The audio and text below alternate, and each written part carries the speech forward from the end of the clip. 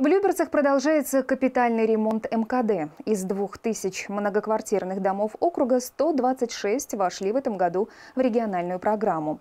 В доме на Октябрьском проспекте 191-2 уже завершился ремонт фасада. Здание перекрасили в ярко-желтый цвет.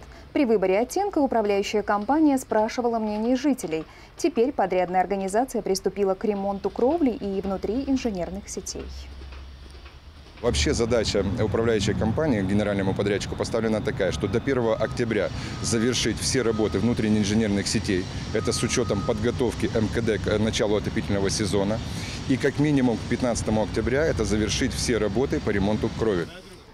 Остальные работы, которые не зависят от погодных условий, должны завершить до 1 ноября.